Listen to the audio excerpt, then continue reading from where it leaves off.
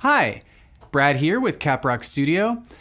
Uh, today's question is from Amy R, and she asked, How long should it take for me to get my photos back after my session?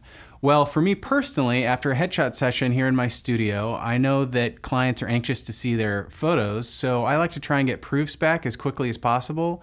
And for me, that means one to two business days. Now, after I deliver the proofs to the client, it's up to them to make their selections for which headshots they want to use. Um, once I get those selections back, I'll take those files, bring them into Photoshop, retouch them, and then deliver them back to the client. And that process takes another typically one to two weeks. So, how long should it take to get your headshots back after a headshot session? I'd say one to two business days for proofs and one to two weeks for your final retouched headshots. Okay, that answers this week's question. I'll see you next week. Thanks. Take care.